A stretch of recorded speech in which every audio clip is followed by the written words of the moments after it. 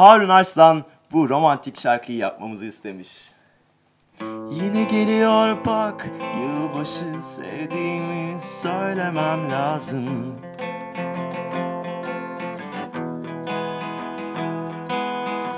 Yine geliyor bak yılbaşı sevdiğimi söylemem lazım.